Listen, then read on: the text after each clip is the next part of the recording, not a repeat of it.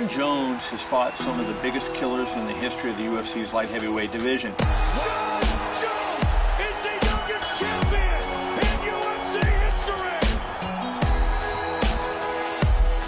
A guy at 26 years old to have entirely decimated a division.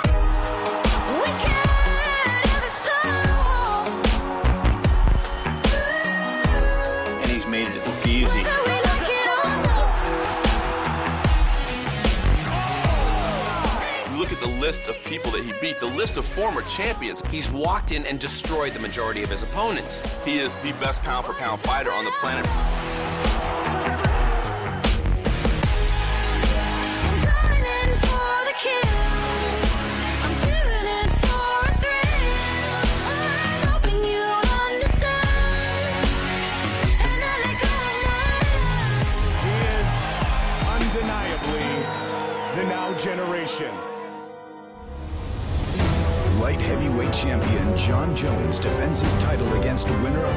Of 20 straight fights, Glover Teixeira. NCAA wrestling champion Phil Davis welcomes Anthony Johnson back to the octagon. And former Strikeforce champion Luke Rockhold squares off against heavy-handed Tim Boetsch. This is Countdown to UFC 172.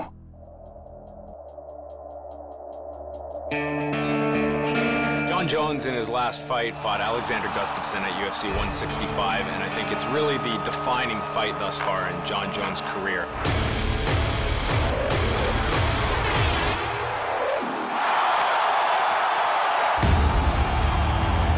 Jones was expected to just roll through him. He had rolled through everybody else in the UFC.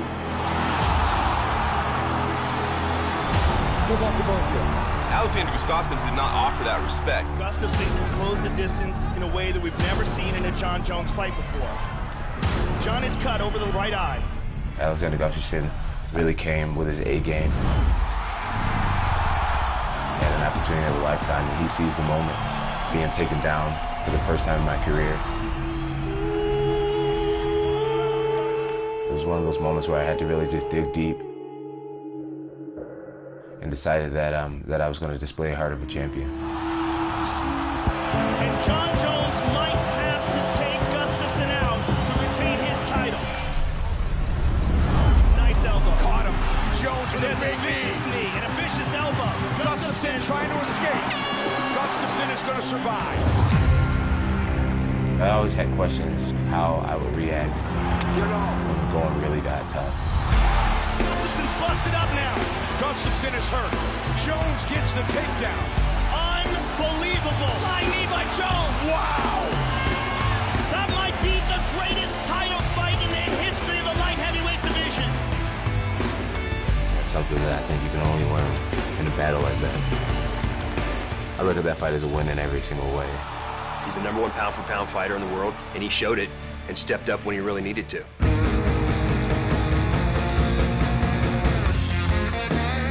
So Jon came in and talked to us and said he wanted a truck, you know, he wanted a, a beast for a beast. And I said, absolutely, man. So he's sitting about four inches higher than normal.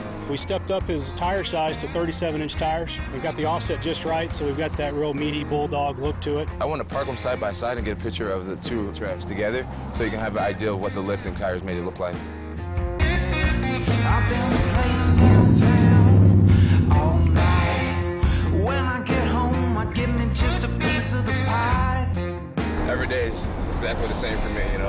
Diet, food, hard work, being exhausted. It's the struggle, you know, it's the grind. Doing things like this definitely makes it worth it. Continuing to push forward through the good and the bad.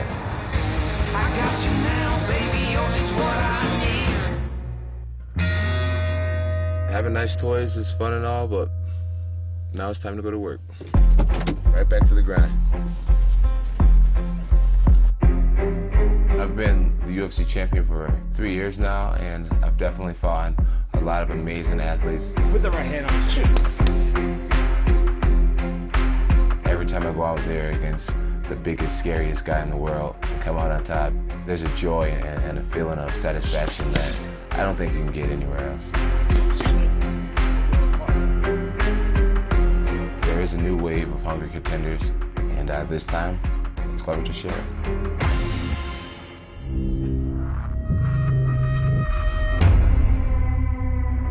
Kid, I like uh, watching Tyson fight.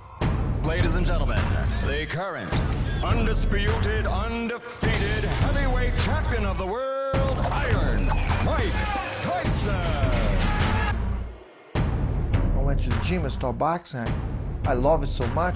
Three months later, I watched Royce Gracie go in the UFC. He looks like he's a tremendous yeah, he's tapped out. He's tapped out. Royce Gracie's in the finals one more time. My passion started right there, man. Six months later, I had my first fight. Here is Glover, the Brazilian Pico That's when I met John and Chuck. I saw Glover was really tough, really strong. We went into his dressing room after the fight and just talked to him, and we decided right then and there we want him part of our team.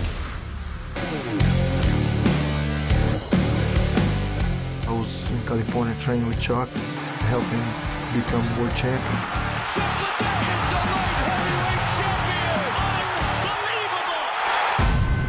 During this time, you know, Glover got married. Unfortunately, he was here illegally.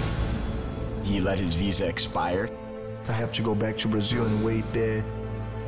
Chuck was like, man, you got to get this visa situation quick and, and come back and uh, and be a champion. They said, you know, he'd be back in six to eight weeks, and then went down and they couldn't make it back. It just take a long time, three years, man. They hold that paper over there. After Chuck lost his belt, you see the belt jumping like a tennis ball from one place to the other. It was so crazy, nobody would hold the belt for a long time. Jones is the youngest champion. I just want to be in there and fight with those guys. And one day they called me in and was like, hey, good, congratulations, you're going to the United States, here's your green card.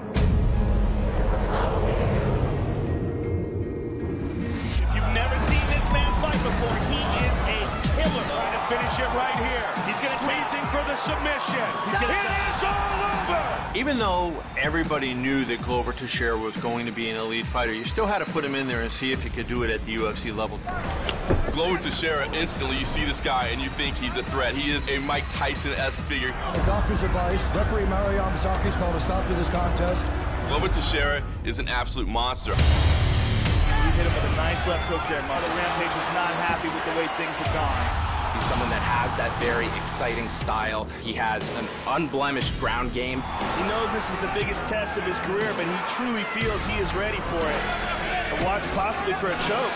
Arm in guillotine here. That's it. It's all over. Mike Tyson just got up and clapped, and Glover came up to him to tell him he's a fan. I couldn't be happy, man. Mike Tyson was here. He coming. Can't believe it, man. I want to cry right now. Glover Teixeira stepped in the cage against Ryan Bader. He knew what was on the line. He knew if he did win, he would get a shot at Jon Jones. Bader caught him there. He may have Glover hurt. He got rattled, he got knocked down. It looked like he was going to let it slip through his fingers. Oh, Bader just missed. Oh, down goes Bader. Glover Teixeira. Glover Teixeira really stood out as someone that passed all of his tests at this point and was ready for the champion. Glover Teixeira. Has won 20 straight fights. And here he is, a shot at the world title.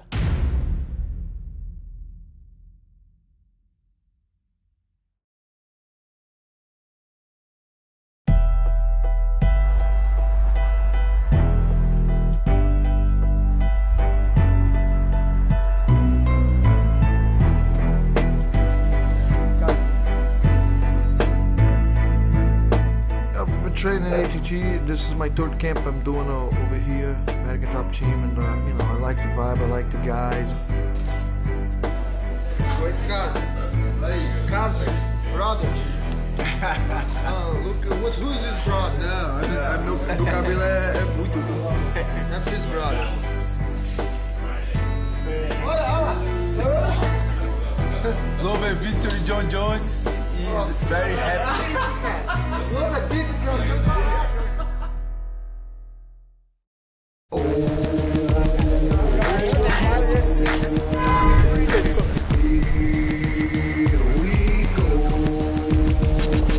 Doing the camp here in Florida is great, right? because uh, you know the weather is always helping. It's kind of like Brazil, a little bit. You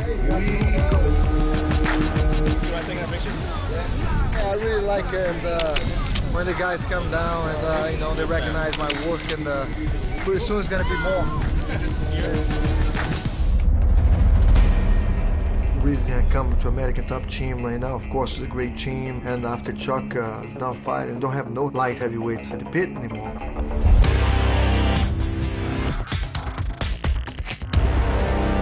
Gotta train, get my body used to five rounds. Why I get fresh guys coming in every time. It's gonna push me to my limit, you know, like take me down, and I gotta get up.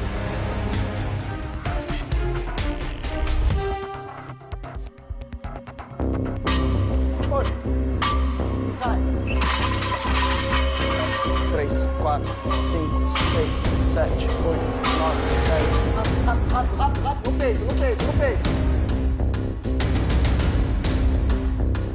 Always thinking in my mind, training back in the days with uh, Chuck Liddell when he was training for the World Championship. I remember like how hard uh, he trained and how much the strength and conditioning helped him.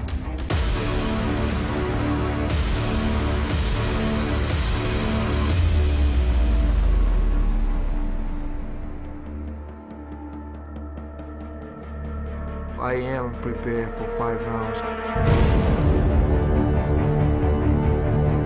But I have a confidence gonna finish Jon. I have to finish him. He's a champion, so in my mind, I have to finish this fight. Last time I lost was uh, 2005, but like uh, the feeling you never forget. I don't want to never feel that way again. I've been training with Greg Jackson and Mike Winkeljohn for years now. Since I've met these guys, I've finished almost every opponent. And, um, you know, they say, if it's not broke, don't fix it. Let's go, guys. Get a partner. Ground and pound, basic position starting. Pin the arm. Glover's Jiu-Jitsu is definitely one of the best in the light heavyweight divisions. You can just see how he's dominated people on the ground to know, wow, this guy knows what he's doing. We have to be ready because he's bringing an A-game Jiu-Jitsu. We have to do the same. Good head positioning there, Jon. I really like the way you're moving that head and putting it in the right place. Don't forget, Jon, when you're elbowing, keep that sucker open. Bone to bone, baby. We're taking him seriously in all aspects of martial arts. You know, we understand that he loves to strike, he has pretty good takedowns, and a well-rounded jiu-jitsu game. So same deal, we're going here and here. Up we come, guys. But when we stand up like this, if he's not gonna ride with us, I'm gonna have you guys drop this knee immediately. We're training everywhere, and um, we feel pretty confident that we have solutions for him. Drop that knee, guys. Drop that knee. Nice, Jon Jones. You know, it's hard to say how this fight's gonna play out, but I envision myself every night winning. I see myself with my hands raised, you know, having one more world title under my belt. I believe in my coaching staff, and uh, I believe in myself most importantly. You know, I'm just really excited to show the world that that last fight, it's not going to be something that happens uh, frequently. You know, I want to get back in my dominating ways, and I feel as if I'm well on track to doing that.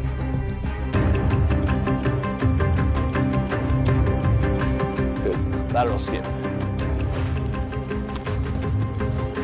You know, I always feel as if I have a youth, speed, and athletic advantage in the fights. All right, Jon, here we go, man. There you go. Drive those arms. Drive, drive, drive. But since I've been working with Elevate, it's just gone to the next level. My strength, speed, reaction time, quickness. I just feel great. I really feel on top of my game. 20 minutes of this. Here we go. We try to target things that are going to help him right now. 10 times two, good. Keeping his heart really high and having to move heavy, heavy weight. 20 yards. That goes in line exactly what he needs to be doing in the, you know, in the fight. Keep it going, keep it going. Five yards. The main focus for him just simply getting strong hips, getting, you know, being strong from the ground. Here we go, bench. With the elbows coming down, stopping, it allows him to generate force from a dead position. Hips, glutes, he's driving his hips through, um, using his lats, his chest, his pecs to drive the weight away from him. So it's really beneficial.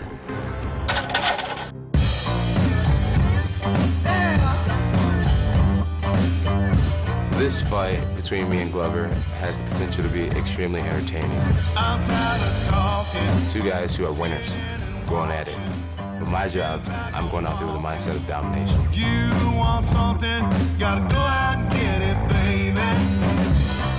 Take the belt away from Jones is a, big deal, but I can't be worrying about Jon Jones too much. I'm gonna go over there and I'm gonna finish this guy. I Think of myself as an honest man, the kind of never could deny. When I gotta keep going, baby, I gotta keep moving on. I have a lot of goals in this sport. The biggest one is just to be remembered as the greatest of all time. Let's make this happen. Gotta make it happen. I know it's going to take a lot more victories, but I'm 26 years old, and with hard work, there's no way it won't happen. Let's make this happen. Gotta make it happen.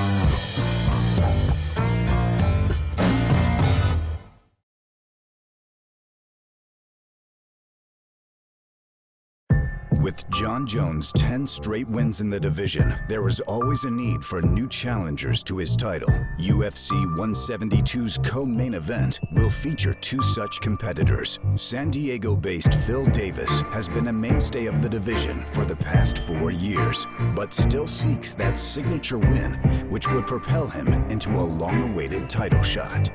Other than an impressive set of lats that he brings to the cage, I think Phil Davis's best attribute is certainly his wrestling. I mean, this was a four-time All-American wrestler at Penn State. While I was in college, I was a two-time Big Ten champion, uh, two-time national finalist, and a four-time All-American, and 2008 national champion. Everybody know what we're doing? All right, one, two, three. I ran wrestling class today. I'm just going over a couple of things that I know the team needs to work on.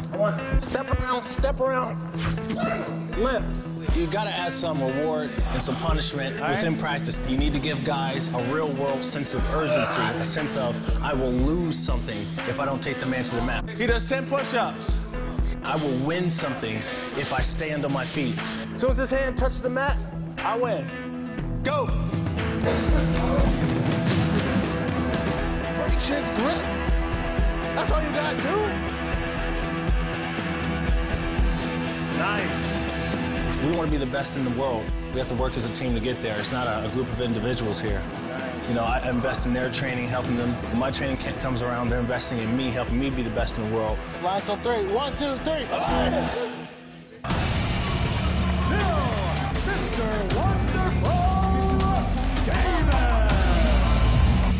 Phil Davis is able to use his athletic ability and his wrestling to take the fight where he wants it to be. His jiu-jitsu is impressive as well, especially from top position. So it's not about just taking you down and staying on top and letting the clock run out. It's about taking you down, getting on top of you, and looking for opportunities to finish the fight. He's got an anaconda. 10 seconds. Rolls into it. Wow, he might get it. The fact that Phil Davis beat Alexander Gustafsson should tell you all you need to know. He can beat anybody on the planet.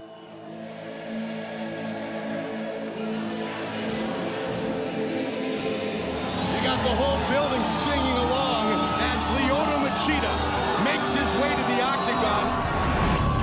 Going on the road is always a tough proposition, but going on the road in front of that crowd in Brazil against a Brazilian is always extremely dangerous. Lyoto Machida is not someone that you go in and you dominate. He's not somebody that's easy to fight against, no matter what style you're bringing to the cage. And so this was a very technical affair. At the time he was the number one contender, it was a huge opportunity for him. Machida, he's got the highest takedown defense average in light heavyweight history. You get a guy that's patient and willing to wait, you can outstrike him by staying outside, and then when he comes forward, take him down. And that's what happened. Phil's got to use his time wisely and do some damage. Good shots to the midsection. You look at those takedowns, and I think that was what was most impressionable on the judges. Mr. Wonderful Davis. I just keep moving up the ladder. There's only so many spots before you fight the champion.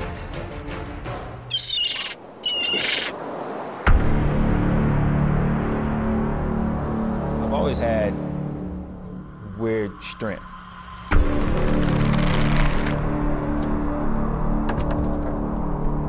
My granddad used to tell me how strong I was.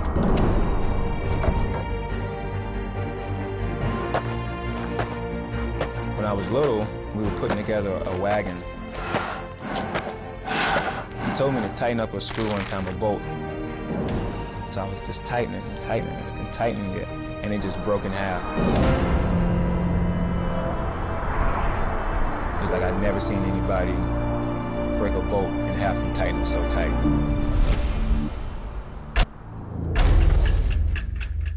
Every time I swing, every time I punch, everything that I do, it has bad intentions behind it.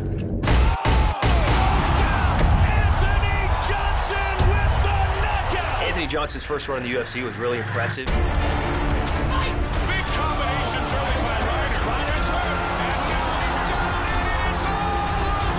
Anybody they put in there, you could see it in their eyes. They were afraid of what Anthony Johnson was going to do to them. Anthony Johnson, a fighter that used to fight at 170 pounds, if you stand next to this man, you have no concept of how he ever made 170 pounds.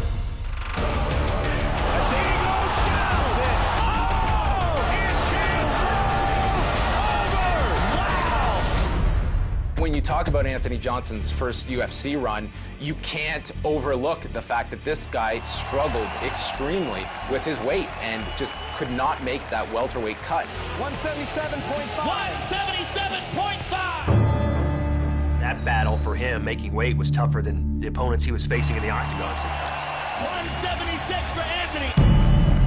At the time, I just wanted to fight 170 because I felt like I was bigger, faster, stronger than anybody in the weight class.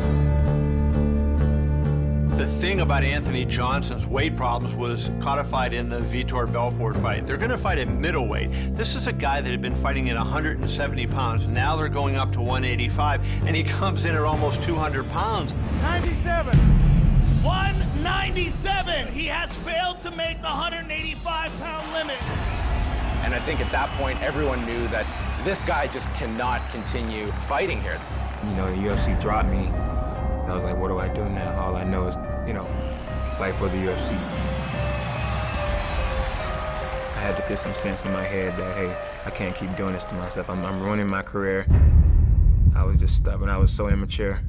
You know, I hadn't grew as a person. I just should have been fighting at a higher weight class sooner than what I am now.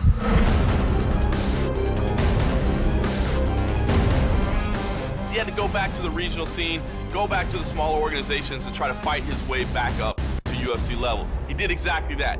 Now he's settled at 205 pounds. 205 is a great spot for Anthony Johnson to be at. Anthony Johnson was so impressive in his UFC sabbatical. Six straight fights, all victories. He's a rare case of someone that left the UFC and comes in with more momentum than when he left. This should be a fight that really does make people take note of Anthony Johnson once again.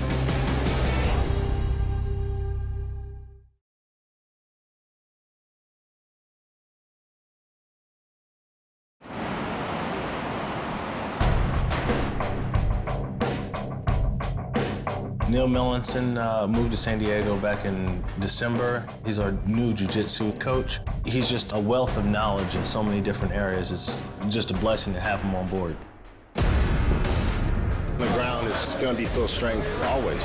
And I think we can anticipate a lot of what Anthony's going to do, and especially when he feels the pressure of Phil. Because Phil doesn't just lay on you, he, he makes you feel every second and grinds and makes you miserable, breaks you mentally. Nice touch.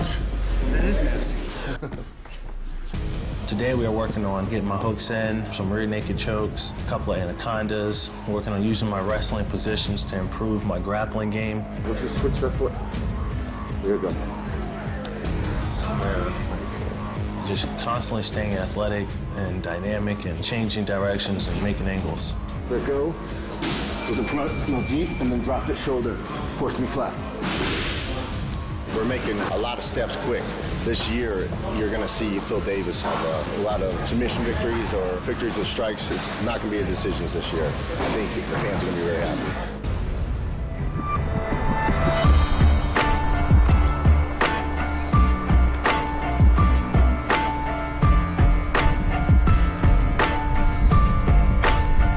I don't really have anybody imitating Phil Davis. I have guys that are just well-rounded, and uh, all of us have a different style of fight. I just train to fight, and uh, just to be ready for whatever Phil could possibly throw at me. You know, my boy Rashad got hurt getting ready for Daniel Cormier, but uh, You know, Rashad has, has been there for me since day one, helping me push myself and helping me improve. AJ's been my main training partner, so any capacity I can come in and help him, just even just be there to support him, it goes a long way.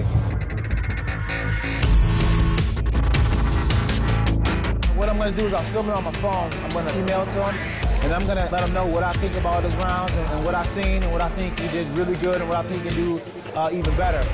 This fight coming up, you're going to see a different AJ, a guy who's excited, a guy who's hungry, and a guy who's determined to win. After training, sometimes I call my grandmother. I'm doing good. Trying to stay focused. Just to hear her voice because she loves talking to me, which I love talking to her too. I'm not hungry. No, I'm not tired, but I'm fine. she knows when I mean business because she doesn't hear from me near as much as she usually does whenever I don't have a fight. Yeah, he's tough. He's tough. Yeah, yeah, I'm tough too. She's good. She's my number one supporter. Oh, yes, sir. You know, right now I need to get a haircut because I'm looking a little scruffy. Yo, I look too much like the dude I'm fighting like this. You can't be fighting each other and looking the same. But my watch glows and my chain glows. Yeah, they all know you ain't.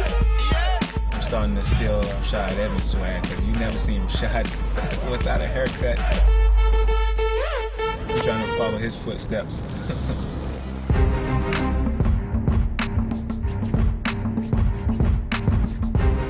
I get ready for a fight, they want to check my eyes because I got poked in the eye years back.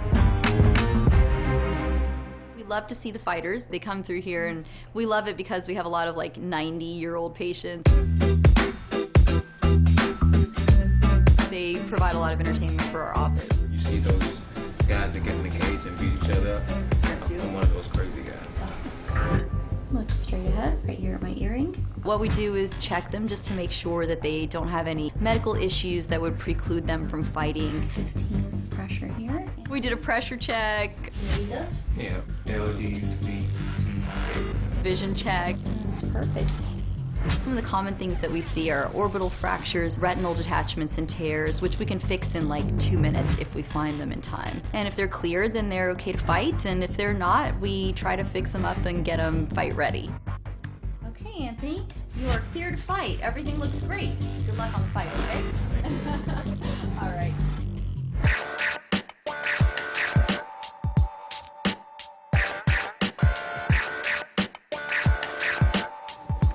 It's my bag of tricks right here.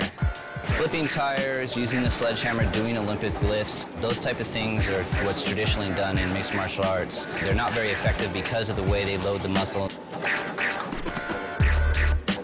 Phil Davis was kind of looking to go in a different direction with his athletic performance, and he knew it would require doing some things that aren't traditionally done in mixed martial arts.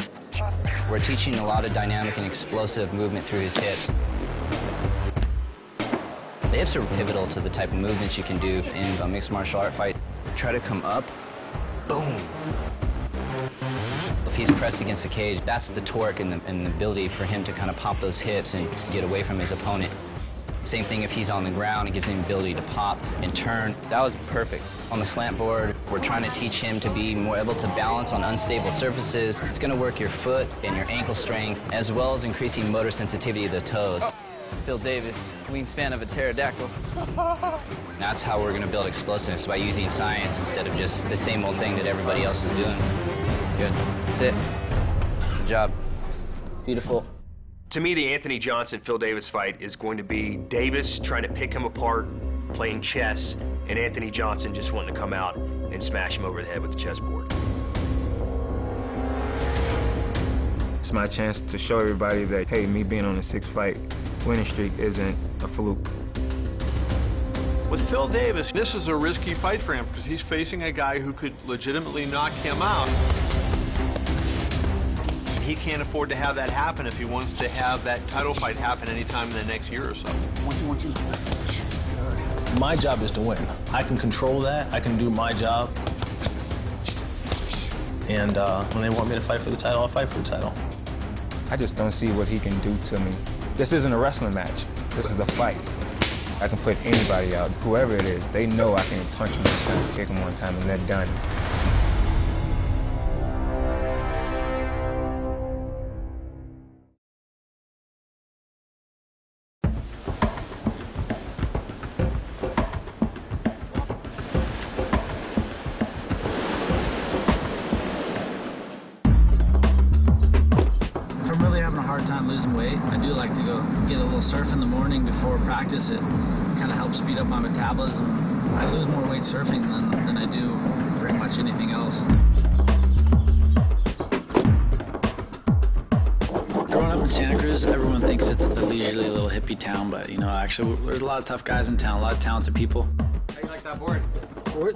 Good for me to the point. My family was a very competitive family. My dad played professional basketball.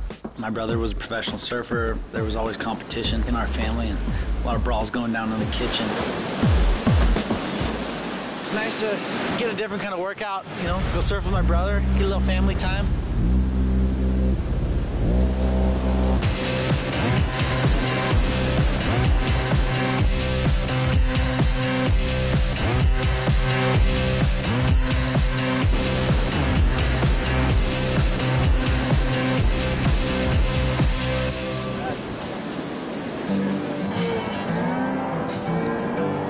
I've been in the surfing community, and it's pretty tough and, and uh, territorial place, and people have no etiquette. So I mean, I, I found myself getting a lot of scraps. I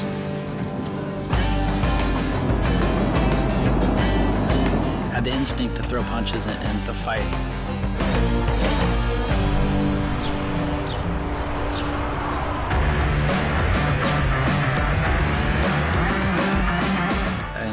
Traveling over to AK and, and worked with Javier, and he believed me from the start.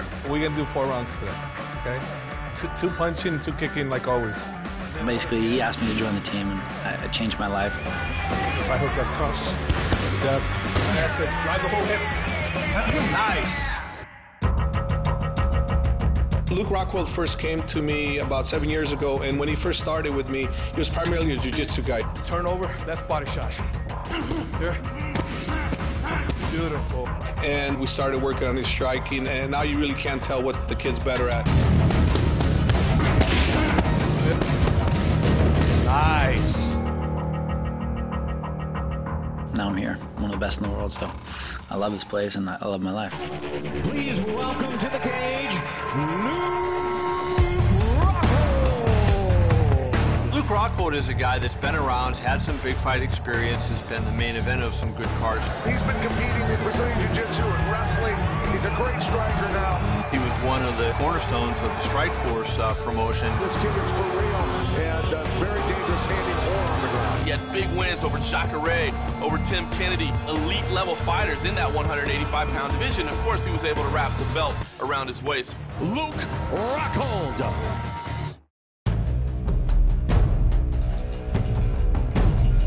San Jose's American Kickboxing Academy has become a breeding ground for some of the top talent in mixed martial arts, and its ranks include UFC heavyweight champion Cain Velasquez. For Luke Rockhold, every day is a grind, and today he is able to hone his skills with former Olympic wrestler and number 5 UFC light heavyweight Daniel Cormier. Why's your head go like this? Why's your head doing this? Let's see his head's doing that today. Yeah, man, when I walked in here, I saw Luke, and you know, he's a tall kid, surfer, good looking. I was like, man, I hate that dude. Immediately, like, I just hated Luke, but we're both kind of coming up through the Strikeforce challenges together. And when I got to know him, you know, he became my best friend in the gym. This is what he does every day. Finds the smallest guy in the gym and picks on him. Today I had Luke, uh, he was going to go out with Daniel Cormier. We're gonna punch each other in the face, you know, we only do what's best. It's go time. DC always tries to bully me around in the cage. It's not even like real sparring sometimes. He has this big brother mentality. Sometimes when I have two alpha male uh, fighters, that being like Luke and DC, they don't like to give anything. DC's job don't work. Why do you think they're good? It does raise the intensity, not only because we're both higher ranked guys in the world, but because of the relationship we have. You know, we're like brothers. Two brothers always go at each other harder. 30 seconds. Time! Don't stay too far back when he's charging. Pivot out a little quicker, okay? If we didn't have the group of guys that we have, we would not have the success at the level we've had. I truly believe as Cain is the champion, I'm working my way towards being a champion, and Luke is going to make his way up the rankings too. We need this group of guys together. Here is the former Strikeforce middleweight champion of the world, Luke Rockhold. It almost doesn't matter what you did outside the sport. You have to do it in the UFC. Here go. Rockhold not in any rush. He's not getting desperate. There's a lot of buzz behind Costa Philippou as being somebody that really mattered and could be a legitimate contender to the middleweight title. Philippou been trying to work his way inside. He hits a big right hand there. Luke Rockhold came out. He had a certain confidence about himself that was undeniable in that fight. You see Philippou bleeding down his nose, and that didn't take long. Whoa! He got the ball. So if we had any lingering doubts about Luke Rockhold, whether he was for real or not, we got our answer. There's nothing like finishing a fight in the first round. Get it done, get it done early, get it done quick. I mean, who wants to work a full day when you can work a half day?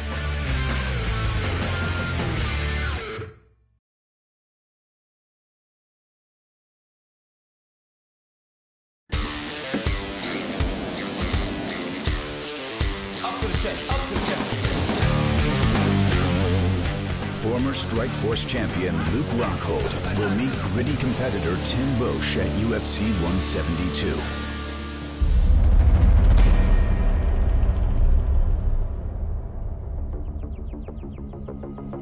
While his wife and three children live in Pennsylvania, Tim chooses to spend training camps in isolation. Working with legendary coach Matt Hume in Kirkland, Washington. I've found that it's really important to surround yourself with the types of people that you aspire to be, and Matt is one of those people.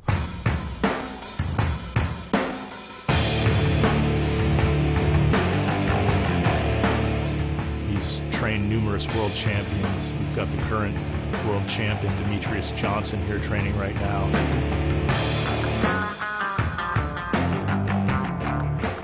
Feel like if I'm ever going to be champion, I'm going to get it done training here with Matt Hume.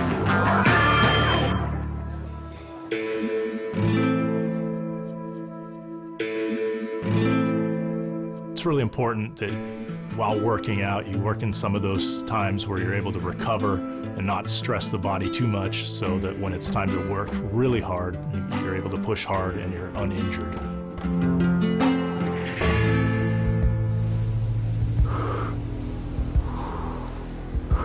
We just did five minute rounds in the pool.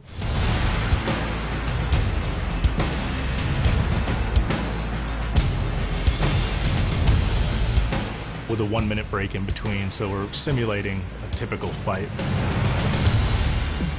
We also do uh, quite a bit of underwater work.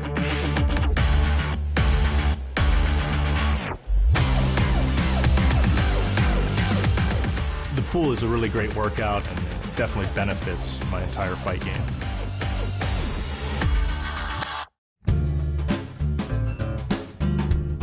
I do a lot of my own cooking. When you go to the restaurant, you don't know how much butter or salt the cook is throwing in there. This way I have control over everything. Light sesame oil, very healthy oil to use. Typically I use a lot of meats that I've hunted myself. My favorite thing to hunt is elk. It's very lean, and that's what I use in my training diet. I know that the meat has been taken care of from when the animal is harvested till when I eat it.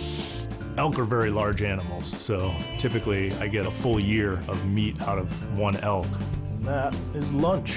So it's very important that I am successful in my hunt each year so I don't go hungry during training camp.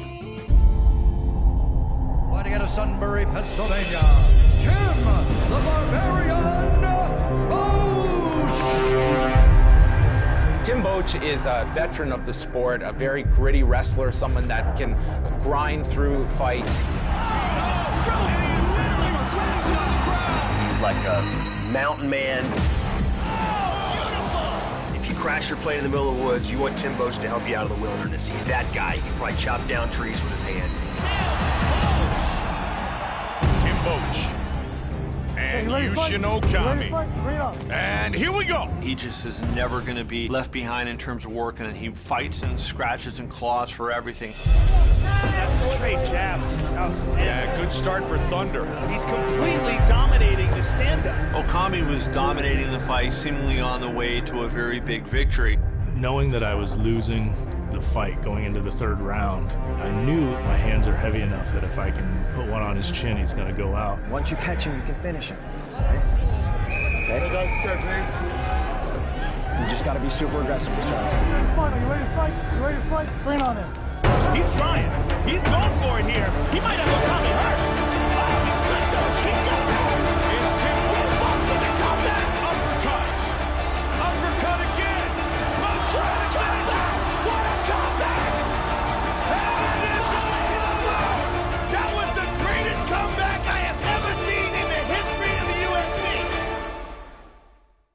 Shadow box.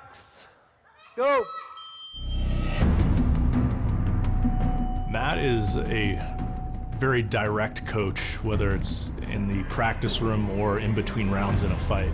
He's not a sideline coach. I slide and control the angles right there. All I have to do is put him in really bad posture just for a second, and now I can follow up. Tim's a real pleasure to work with because he picks things up so naturally. Um, the only downside is that he's only here right before his fights. But when he's here, he really picks things up. There you go. Good. We really look at what we expect from Luke, and we know he's a tall guy. He's going to have a reach advantage. Here, little step in turning him. Hold on, your right hand's right there. That's elbow.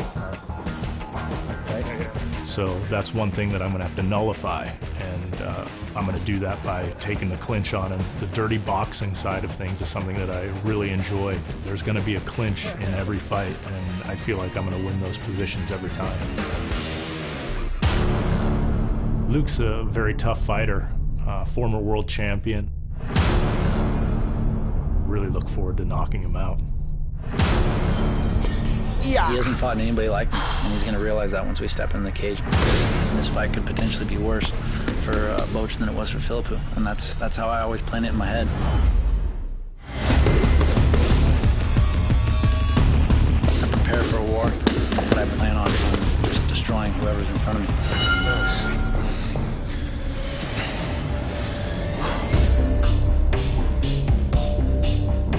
And Boetsch will meet in what has the makings of a slugfest. Pick your shots. Anthony Johnson and Phil Davis will vie for positioning at the top of a crowded light heavyweight division.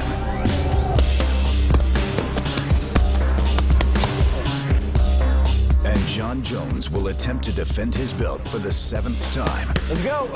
Against knockout artist Glover Teixeira.